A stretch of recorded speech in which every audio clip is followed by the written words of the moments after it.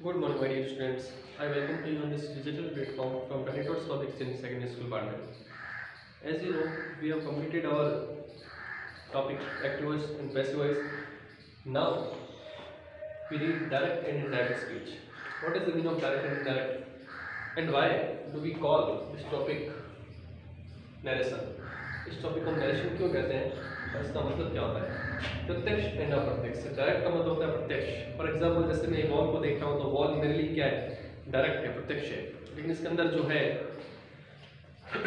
Brick लगी हुई है, जो ईंट लगी हुई है, वो मुझे दिखाई नहीं दे रही है। वो क्या हो जाएगा? अप्रत्यक्ष। तो डायरेक्ट स्पीच और इनडायरेक्ट स्पीच को हम समझते हैं। स्पीकर द्वारा कहे गए वर्ड्स को एज इट इज़ कहना। स्पीकर कुछ सेंटेंस कह रहा है, उसको एज इट इज़ कहना क्या होता है? डायरेक्ट स्पीच और उसको अपनी लैंग्वेज में कहना इनडायरेक्ट स्पीच स्पीकर द्वारा कहेंगे वर्ड्स को, अपनी लैंग्वेज में कहना क्या होता है इनडायरेक्ट स्पीच एग्जांपल से समझते हैं. Ram said to Hari I write letter Ram ने हरी से कहा कि मैं पत्र लिखता हूँ। तो जब ये बात वापस कोई और कहीं कहेगा तो क्या होगा? राम टोल्ड हरी, जैसे मैं कहूँगा कि उसने वो क्या सेंटेंस कहा? कि राम टोल्ड हरी, राम ने हरी से कहा कि वह एक पत्र लिखता था। है ना? वह एक पत्र लिखता है नहीं, क्योंकि प्रेजेंट में वो चीज़ नहीं हो रही है। वो चीज़ हो चुकी पास्ट की बात थी। इसलिए हम इसको बाद में जैसे इसके रूल्स पढ़ाऊँगा कि क्यों हम इसको प्रेजेंट को पूरा पास्ट में चेंज करते हैं? मैंने कहा ना इंग्लिश के अंदर सब कुछ कंसेप्ट है। सारा का सारा कंसेप्ट आज तक जो आप पढ़ते हुए आ रहे हो, जो रटू तोते की तरह जो पढ़ते हुए आ रहे हो, वो सारा माइंड से निकाल दो जब भी हम न्यू टॉपिक लेंगे, चाहे ग्रामर का हो, चाहे रीडर का हो, सारे टॉपिक समझते हुए हम पढ़ेंगे। मैं जैसे हमेशा कहता हूँ तो वो लॉन्ग टाइम को हमें जो है याद रहेगा, और लॉन्ग टाइम तक हम उस चीज़ को भूलेंगे नहीं। तो ये क्यों चेंज होता है, वो भी मैं आपको बता रहा हूँ। है ना? फिर से समझना इस चीज़ को वापस। Ram said to Hari I write letter Ram ने हरी से कहा कि मैं एक पत्र लिखता हूँ। राम और हरी दोनों फ्रेंड है, आपस में टॉक कर रहे हैं और राम हरी से कहता है कि मैं एक पत्र लिखता हूँ। जब मैं, ना तो मैं राम हूँ, ना मैं हरी हूँ। जब मैं उन दोनों के बारे में बात करूँगा तो मैं क्या कहूँगा? कि राम ने हरी से कहा कि वह एक पत्र लिखता था।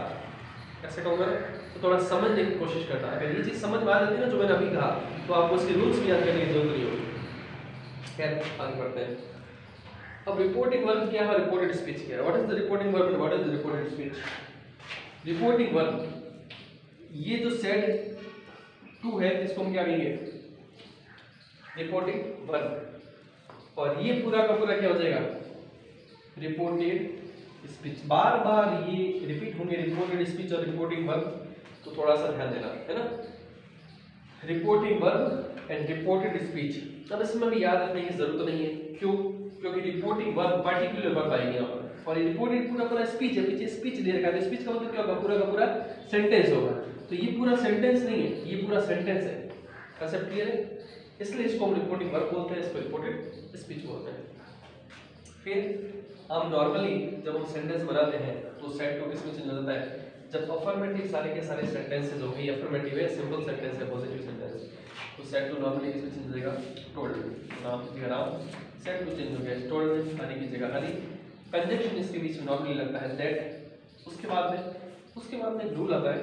वो रूल आपको जो है, अच्छे से समझना होगा, अच्छे से उसको याद करना होगा. है ना? रूल है सन वाला एस ओ एन क्या होता है एस ओ एन मतलब? सब्जेक्ट होता है फ़र्स्ट पर्सन के अकॉर्डिंग चेंज ऑब्जेक्ट होता है सेकंड पर्सन के अकॉर्डिंग चेंज और थर्ड पर्सन में कोई चेंज नहीं होता। अभी क्या है फ़र्स्ट पर्सन एस यानी सब्जेक्ट ओ यानी ऑब्जेक्ट एन यानी नन आपको याद है तो मैंने कहा था कि बेटा ये first person second person third person tense में भी काम आएँगे एक्टिव पैसिव में डायरेक्ट में जब भी पढ़ेंगे हम ये first person second person third person का कंसेप्ट काम आएगा। यहाँ पर भी होगा वो कंसेप्ट है। ध्यान से समझना। रिपोर्टेड स्पीच मैं यहाँ पे। कौन सा पर्सन है ये? फ़र्स्ट पर्सन है। तो सन का फॉर्मूला क्या कहता है कि ये फ़र्स्ट पर्सन है रिपोर्टेड स्पीच के अंदर यहाँ पे अगर फ़र्स्ट पर्सन हो तो किसके अकॉर्डिंग चेंज होगा? रिपोर्टेड स्पीच का फ़र्स्ट पर्सन रिपोर्टिंग वर्ब के फ़र्स्ट पर्सन के अकॉर्डिंग चेंज होगा। ठीक है? कैसे चेंज होगा? आई यहाँ पे था, लेकिन यहाँ हमने क्या लिखा? है ही क्यों लिखा? क्योंकि हमें पता है सब के रूल के अकॉर्डिंग रिपोर्टेड स्पीच का फ़र्स्ट पर्सन रिपोर्टिंग वर्ब के किसके अकॉर्डिंग चेंज होगा? सब्जेक्ट के अकॉर्डिंग ठीक है, इसलिए मैंने यहाँ पे लिखा, फिर इसके बाद प्रेजेंट टेंस चेंज होता है पास्ट टेंस के आगे रूल्स लिखा मैं आपको ये लगता है फिर से देख लेते हैं एक बार। राम का नाम अफर्मेटिव सेंटेंस के अंदर हमेशा सेट टू टोल्ड में चेंज होगा। सेट टू का टोल्ड हरी का हरी। कंजक्शन अफर्मेटिव सेंटेंस में नॉर्मली दैट लगता है। और ये फ़र्स्ट पर्सन था, इसलिए राम के अकॉर्डिंग चेंज हुआ इसलिए राम का राम नहीं, ही हो गया। प्रोनाउन रॉट लेटर ठीक है? अब ध्यान से देखना। अब अगर इसको यहाँ से बता देता हूँ और यहाँ मैं लिखता हूँ you you write the letter you कौन सा पर्सन है? यू सेकंड पर्सन है। तो अगर इस यू सेकंड पर्सन किसके अकॉर्डिंग चेंज होगा? ये हरी के अकॉर्डिंग चेंज होगा। जब ये हरी के अकॉर्डिंग चेंज होगा तो यहाँ क्या आएगा? हरी का क्या हो जाएगा वापस ही? ये सही हो जाएगा। लेकिन हरी का तो यहाँ पे ही हो जाएगा क्योंकि सेकंड पर्सन ऑब्जेक्ट के ऑब्जेक्ट क्या है? हरी है तो हरी का यहाँ हो गया। लेकिन अगर यहाँ इसको हटा दो, और यहाँ मैं कर दूँ कि राम सेट टू मी ये यू सेकंड पर्सन है। सेकंड पर्सन चेंज होता है रिपोर्टिंग वर्ब ऑब्जेक्ट के अकॉर्डिंग अब मी यहाँ पे ऑब्जेक्ट है, लेकिन हमको यहाँ पे सब्जेक्ट चाहिए। तो यहाँ मी नहीं लिखेंगे, यहाँ क्या लिखेंगे? यहाँ लिखेंगे आई क्यों आई लिखा आपने क्योंकि हमें यहाँ चाहिए सब्जेक्ट मी का सब्जेक्ट क्या होता है? आई किसके अकॉर्डिंग चेंज हुआ यू के अकॉर्डिंग यहाँ अगर मैं इस यू को फिर से हटा दूँ, और लिख दूँ मैं ही ही राइट्स लेटर पे एस लग जाएगा इधर। अगर ही लिख दूँ तो कौन सा पर्सन हो जाएगा? थर्ड पर्सन और जब थर्ड पर्सन होगा तो ना तो इसके अकॉर्डिंग चेंज होगा, ना इसके अकॉर्डिंग चेंज होगा। क्योंकि हमें पता है कि थर्ड पर्सन ही शीट और टेक में कोई चेंज नहीं होता है। इसलिए ई का यहाँ पर क्या जाएगा ई ये थोड़ा सा ध्यान देना है। एक और लो। अब मैं पे बी लिख देता हूँ। क्या लिखूँगा बी तो भी किसके अकॉर्डिंग चेंज होगा? इस फ़र्स्ट पर्सन के अकॉर्डिंग कहने का मेरा ये क्या मतलब है? कि रिपोर्टेड स्पीच का फ़र्स्ट पर्सन अगर फ़र्स्ट पर्सन है तो सब्जेक्ट के अकॉर्डिंग रिपोर्टेड स्पीच का सेकंड पर्सन हो या तो ऑब्जेक्ट के अकॉर्डिंग और रिपोर्टेड स्पीच थर्ड पर्सन हो, उसमें कोई चेंज नहीं होता है। इस तरीके से हम जो है इस सन वाला फॉर्मूला ये पूरे की पूरी डायरेक्ट और इनडायरेक्ट स्पीच के अंदर चलेगा। तो आपको याद रखना है। इससे बता देता हूँ subject first person object second person और थर्ड पर्सन में नो चेंज ठीक है? फ़र्स्ट पर्सन या फ़र्स्ट पर्सन हो subject second person object third person no change ये फॉर्मूला आपको याद करना ही होगा। नहीं समझ में तो याद कर लेना इसको। एक्चुअली तो सारा समझ, समझते हुए पर, इतना आपके जैसे इलेवंथ में अगर ये इलेवंथ में हटा दिए डायरेक्ट डायरेक्ट चलो, इतना समझ में आया, वो भी बहुत है। सन वाला फॉर्मूला आप याद कर लेना, ठीक है? इस तरीके से बार से देखते हैं डायरेक्ट डायरेक्ट स्पीच वक्ता द्वारा कहे गए शब्दों को स्पीकर द्वारा कहे गए वर्ड्स को अपनी भाषा में लिखना। डायरेक्ट स्पीच और स्पीकर द्वारा कहे गए वर्ड्स को अपनी लैंग्वेज में लिखना in direct speech affirmative sentence में नॉर्मली हम टोल्ड और दैट का यूज़ करते हैं। और उसके बाद इसके कुछ रूल्स हैं, ठीक है ना? तो ये थोड़ा सा बेसिक इन्फॉर्मेशन थी डायरेक्ट एंड इनडायरेक्ट स्पीच के बारे में। एक बार आप टॉपिक जब शुरू करें तो आपके पास जो भी हो गाइड हो या कहीं से ये टॉपिक जहाँ पे भी दे रखा है, थोड़ा बहुत उसको देख लेना।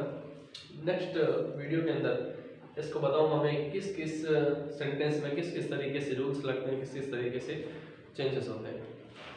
और आपको सन वाला फॉर्मूला अच्छे से समझ में आना चाहिए, घर पर बैठ के प्रैक्टिस करना है इसकी। क्योंकि जब तक सन वाला फॉर्मूला नहीं समझ में आएगा, तब तक आगे कुछ समझ में नहीं आएगा।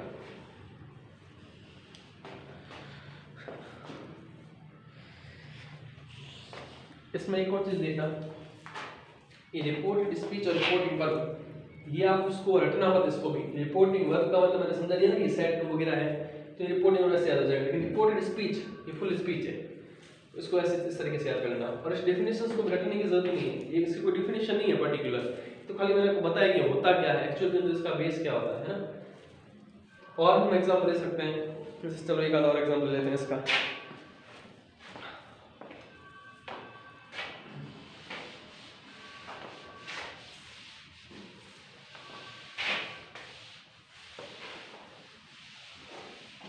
जैसे I said to him,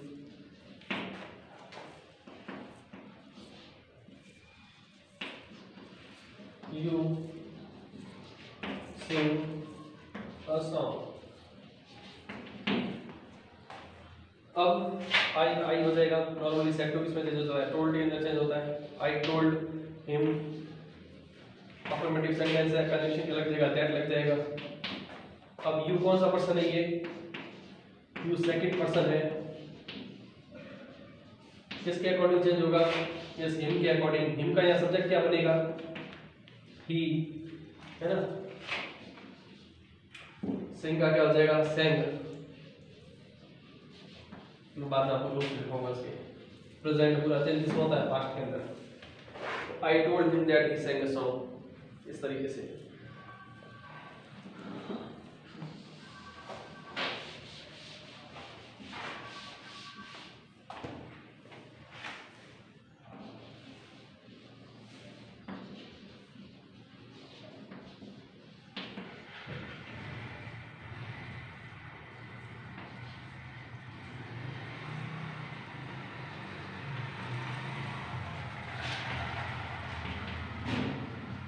ध्यान दो अगर ये सेज टू दे रखा हो या विल से दे रखा हो, कहने का मतलब है ये इसका फ़र्स्ट रूल है कॉपी में नोट डाउन कर लेना कि reported speech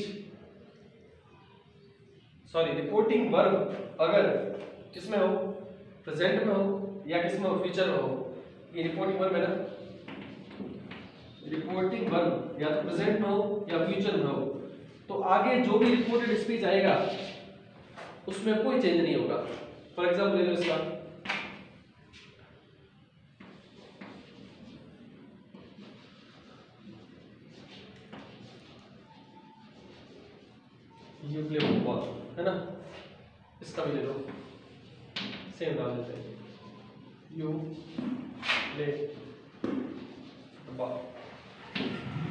अगर ये सेंटेंस इस तरीके से दे रखे हो, या तो प्रेजेंट में रिपोर्टिंग में पास्ट में वहाँ पर क्या था? सेट था। तब सेट टू को हमने किसमें चेंज किया था? सेट टू को तुमने चेंज कर दिया था कोल्ड के अंदर। कोई प्रॉब्लम नहीं। यहाँ सेज टू है और विल से है। तो इन ये फ्यूचर सेज है प्रेजेंट के अंदर विल किसमें आता है? फ्यूचर के अंदर।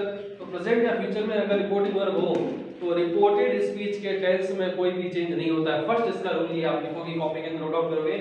रिपोर्टिंग वर्ब यदि प्रेजेंट में हो या फ्यूचर में हो then we do not change in reported speech sentences. We write as it is. For example, ये देख लो एग्जांपल इसका हम कैसे बनेंगे?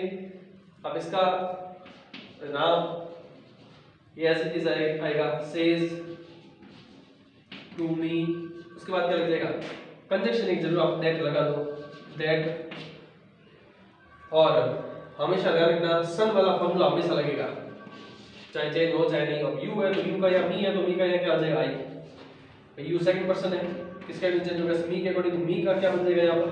Subject I I play football इसमें टेंस के रूल्स नहीं लगेंगे, ठीक है ना? बेटा ये थोड़ा ध्यान देना। हमने क्या किया? फिर से एक बार लो ये फ़र्स्ट रूल है कॉपी में नोट डाउन कर लेना इसको। क्या है फ़र्स्ट रूल यदि रिपोर्टिंग वर्ब प्रेजेंट या फ्यूचर में हो तो रिपोर्टेड स्पीच के टेंस में कोई भी चेंज नहीं होता है। वहाँ पर हमने आई राइट लेटर का क्या लिखा था? ही रोट लेटर लिखा था ना? पास्ट में डाला था, लेकिन हमने यहाँ क्या किया? ये यू प्ले फुटबॉल किसका? प्रेजेंट सिंपल का है? आई प्ले फुटबॉल किसका? प्रेजेंट सिंपल का है। तो रिपोर्टेड स्पीच का टेंस नहीं बदला हमने। टेंस सेम लिखा वहाँ पर टेंस बदला था। क्यों? क्योंकि वहाँ पर सेट टू था। Ram said to me he write a letter तो Ram told me that I wrote a letter तो हमने क्या किया था? प्रेजेंट रिपोर्टेड स्पीच टेंस था, वहाँ पर प्रेजेंट सिंपल चेंज करके किसमें डाला था? पास्ट सिंपल के अंदर। लेकिन जब रिपोर्टिंग वर्ब प्रेजेंट में हो या फ्यूचर में हो तो रिपोर्टेड स्पीच के टेंस में कोई भी चेंज नहीं होता है। ये नोट डाउन करना कॉपी के अंदर वैसे एग्ज़ाम बहुत कम पूछे जाते हैं रिपोर्टिंग मतलब प्रेजेंट का और पास्ट का सॉरी फ्यूचर का तो हमेशा सेट टू दे रखा होगा, क्योंकि उसी के चेंज होते हैं। क्योंकि इसके इज़ रहते हैं तो एग्जामिनर देता नहीं है। अगर बाई चांसेस आ भी जाए तो सेंटेंस कैसे बनेगा?